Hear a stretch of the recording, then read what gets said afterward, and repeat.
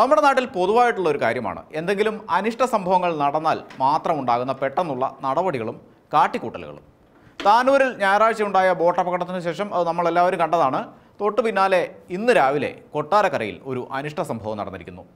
കസ്റ്റഡിയിലെടുത്ത് കൊട്ടാരക്കര താലൂക്ക് ആശുപത്രിയിൽ ചികിത്സയ്ക്കെത്തിച്ച പ്രതി വനിതാ ഡോക്ടറെ കുത്തിക്കൊന്നിരിക്കുന്നു. പുലർച്ചെ നാലരയോടെയാണ് സംഭവമുണ്ടായത്. കോട്ടയം സ്വദേശിനിയും ഹൗസ് സർജനുമായ വന്ദന എന്ന ഇരുപത്തിമൂന്നുകാരിയായ ഡോക്ടറാണ് കൊല്ലപ്പെട്ടത്. കഴുത്തിലും മുഖത്തും മുതുകിലും തലയിലുമൊക്കെ കുത്തേറ്റിരുന്നു. മയക്കുമരുന്നിന് അടിമയായ യു പി സ്കൂൾ അധ്യാപകൻ സന്ദീപാണ് ആക്രമണം നടത്തിയത്. അടിപിടി കേസിൽ പിടിയിലായ ഇയാളുടെ മുറിവ് തുന്നിക്കെട്ടുന്നതിനിടെ അപ്രതീക്ഷിതമായി കത്രിക കൈക്കലാക്കി അയാൾ ഡോക്ടറെ കുത്തുകയായിരുന്നു. ഒരു യുവ ഡോക്ടർക്കാണ് ജീവൻ നഷ്ടമായിരിക്കുന്നത്.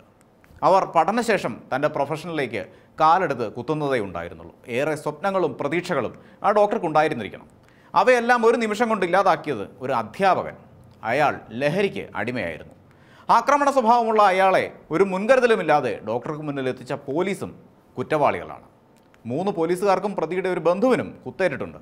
ഡോക്ടർമാർ ഏറെക്കാലമായി ആവശ്യപ്പെട്ടുകൊണ്ടിരിക്കുന്ന ഒരു കാര്യമാണ് അവരുടെ തൊഴിലിടങ്ങളായ ആശുപത്രികളിൽ അവർക്ക് സുരക്ഷ വേണമെന്നത്. കഴിഞ്ഞ മുപ്പതാം തീയതിയാണ് തിരുവനന്തപുരം ഫോർട്ട് ആശുപത്രിയിൽ വൈദ്യപരിശോധനയ്ക്ക് എത്തിച്ച പ്രതിയും സഹോദരനും ചേർന്ന് വനിതാ ഡോക്ടറെ മർദ്ദിച്ചത്. ആശുപത്രി മുറിയും ഉപകരണങ്ങളും പ്രതികൾ തല്ലിത്തകർക്കുകയും ചെയ്തു. തമ്പാനൂർ പോലീസ് കസ്റ്റഡിയിലെടുത്ത് വൈദ്യപരിശോധനയ്ക്ക് എത്തിച്ച പ്രതിയും ആശുപത്രിയിലെത്തിയ അയാളുടെ സഹോദരനും ചേർന്ന് ആക്രമണം നടത്തുകയായിരുന്നു. ഇത്രയും ഗുരുതരമായ ഒരു സംഭവം നടന്ന് പത്ത് ദിവസം പിന്നിടുമ്പോൾ അതേപോലെ മറ്റൊരു ആക്രമണ സംഭവം ഉണ്ടാകുന്നു. അതിൽ ഒരു ഡോക്ടർ ദാരുണമായി കൊല്ലപ്പെടുന്നു.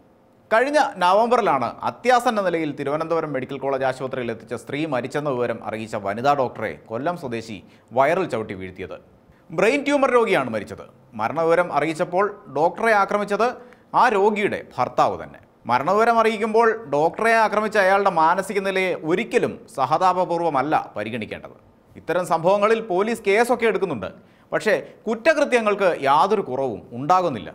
ഡോക്ടർമാർക്ക് രണ്ടെണ്ണം കിട്ടുന്നത് നല്ലതാണെന്ന ഒരു മനോഭാവം ജനങ്ങൾക്കിടയിൽ വളർന്നു വരുന്നുണ്ടെന്നത് യാഥാർത്ഥ്യമാണ്. ഡോക്ടർമാരെല്ലാവരും മരുന്ന് മാഫിയയുടെ ആളുകളാണെന്നും മറ്റുമുള്ള സോഷ്യൽ മീഡിയ പ്രചാരണങ്ങളുടെ ഫലമാണ്. അവയുടെ ബാക്കി പത്രമാണ് ഇതെന്ന് പറയാതിരിക്കാൻ കഴിയില്ല.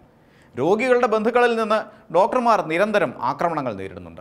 വളരെ കുറഞ്ഞൊരു ശതമാനം ചികിത്സാ പിഴവുകൾ ഉണ്ടാകുന്നില്ലെന്നല്ല. അത്യാസന്ന നിലയിൽ കൊണ്ടുവരുന്ന ഒരു രോഗിയെ രക്ഷപ്പെടുത്താൻ ഡോക്ടർമാർ പരമാവധി ശ്രമിക്കും. എന്നാൽ എല്ലാ രോഗികളെയും രക്ഷപ്പെടുത്താൻ അവർക്ക് കഴിഞ്ഞെന്നും വരില്ല. അത്യാഹിത വിഭാഗങ്ങളിൽ രോഗികൾ ഇങ്ങനെ മരിച്ചു കഴിഞ്ഞാൽ മരണവിവരം അറിയിക്കുന്ന ഡോക്ടർമാർ മിക്കവാറും മർദ്ദനങ്ങൾക്ക് ഇരയാകുന്ന സംഭവങ്ങൾ സമീപകാലത്ത് വർദ്ധിച്ചു വരികയാണ്. പക്ഷേ ഇങ്ങനെയുള്ള സംഭവങ്ങൾ ആവർത്തിക്കുമ്പോഴും ഡോക്ടർമാർക്ക് വേണ്ട വിധത്തിൽ സുരക്ഷ ഒരുക്കാൻ നമ്മുടെ സംവിധാനങ്ങൾക്ക് കഴിയുന്നുണ്ടോ എന്നതാണ് വിമർശനാത്മകമായി പരിശോധിക്കപ്പെടേണ്ട ഒരു പ്രധാനപ്പെട്ട വിഷയം.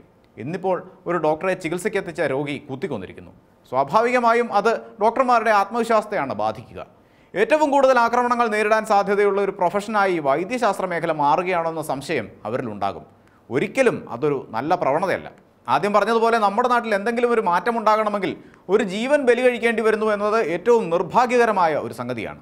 ഈ സംഭവത്തിന്റെ പശ്ചാത്തലത്തിൽ വെറും തട്ടിക്കൂട്ട് പരിഹാര മാർഗങ്ങൾ മുന്നോട്ട് വയ്ക്കാതെ വളരെ ശക്തമായ നടപടികൾ സ്വീകരിക്കേണ്ടതായുണ്ട്.